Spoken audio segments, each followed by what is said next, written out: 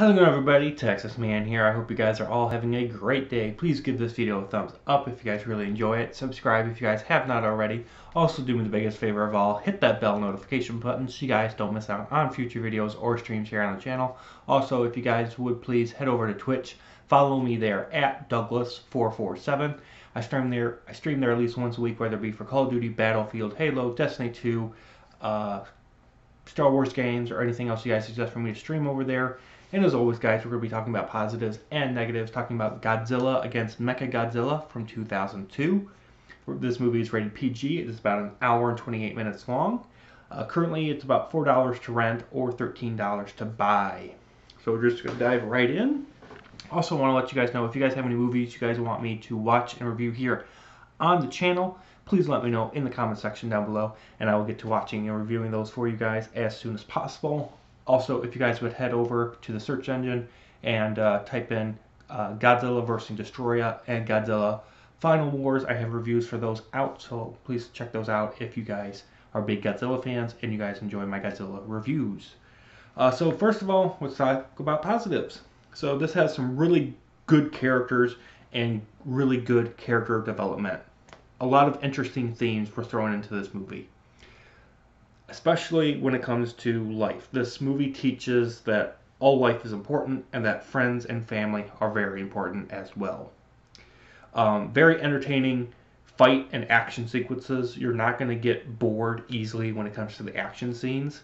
This film is also a great movie for newcomers of the Godzilla franchise. So if you haven't seen any past Godzilla films, I would highly recommend you watching this movie because it kind of gets your feet wet into the whole Godzilla lore and the universe and what a Godzilla movie should do properly. And it also, unfortunately, shows you what a Godzilla movie shouldn't do.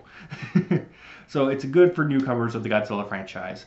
Has a lot of epic kaiju action, and this movie is just a classic film. Um, there's not a lot of cheesy nonsense, I will say for sure, involved in the movie. There is some, but not a lot. Uh, I also enjoyed the fact that this movie acknowledges that Godzilla constantly shows up in the rain.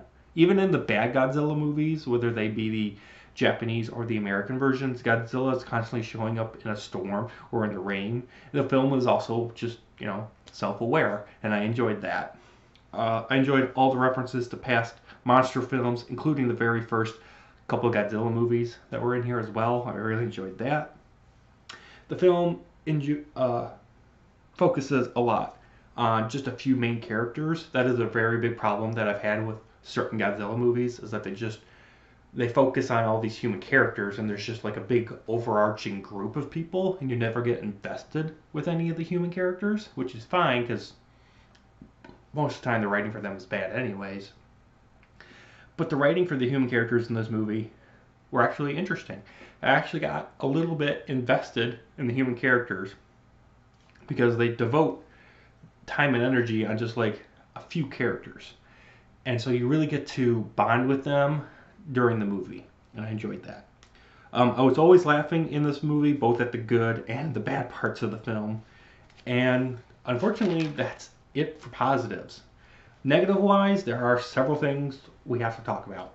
First of all, the characters are constantly saying things wrong. And this was noticeable within the first like 15 20 minutes of the movie because instead of them saying laser, L A S E R, the characters in this movie were constantly saying maser. So they would say M A S E R. And it was just really, really weird. And I had to pause it and rewind it when I was watching it for this review. And I'm just like, are they saying laser or maser? And I'm like, I'm listening really carefully. And I even turned the subtitles on. And I'm like, they're saying maser. Shoot the maser! Shoot the maser! I'm like, it's a laser, not a maser. it was just really weird. It was funny when I caught that. And uh, I was watching it with my dad. He's like, yeah, they're saying maser. They're not saying laser. And I'm just like, okay, good. Stop my imagination. Um, they made a change to where Godzilla can use lightning as a source for him to be able to recharge. Godzilla doesn't use lightning to recharge his atomic breath and his energy and his strength. Really dumb addition.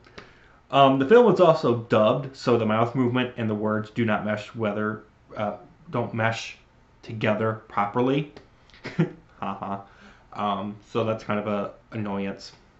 Also, I don't understand why this movie decided to make it where it only has one woman character in order to help crew and operate the Mechagodzilla in this movie. Like literally, there's one woman on this Earth Defense crew force to pilot Mechagodzilla. Everybody else is a guy, and I'm just like, are are they being um?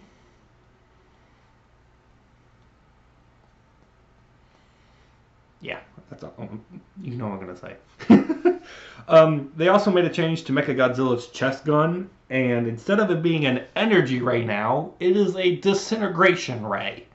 Literally, it freezes your object, and then it's and then it, it disintegrates the thing. Didn't like that change. Uh, this movie, like I said, it's about 90 minutes long. It takes 40 minutes, almost half the runtime, before the action of actual Godzilla versus Mechagodzilla happens.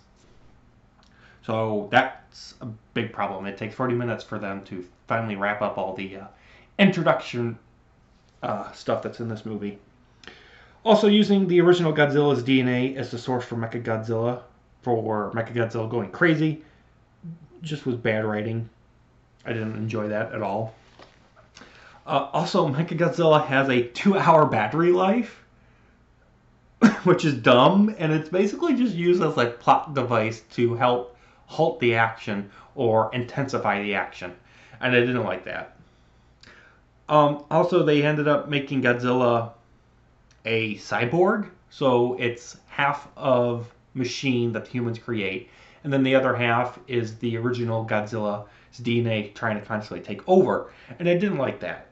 Mechagodzilla is just supposed to be a robot Godzilla, and I don't understand why they made that change.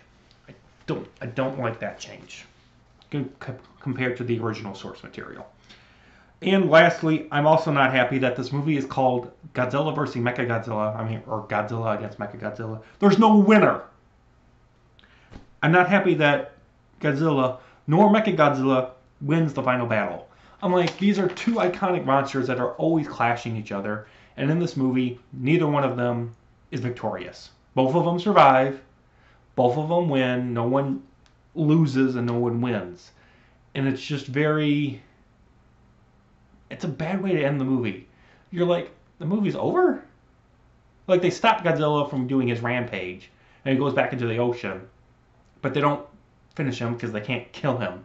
And Godzilla can't kill Mechagodzilla because Mechagodzilla's armor or whatever is just too powerful and he's also injured. I'm just like, the resolution, the conclusion of the movie just feels like, hey, there's a part two coming. And I'm just like, I don't want to see part two. I came to see part one, and that's all I wanted was a one and done movie. And I don't like that. Overall, guys, I'm going to give Godzilla against Mechagodzilla from 2002 a 6 out of 10. Thank you guys so much for watching. You guys have a great day, and I'll see you guys in the next video or stream.